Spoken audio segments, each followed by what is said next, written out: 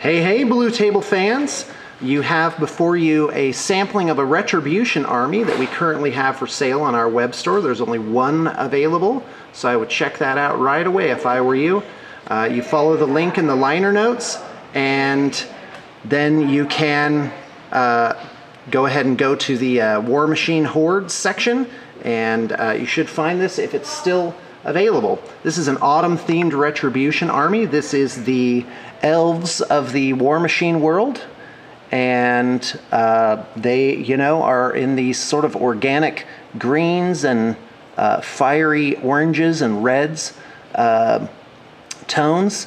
Uh, dead grass on the bases provides a nice neutral backdrop for those. Let's go ahead and get in just a little bit closer here.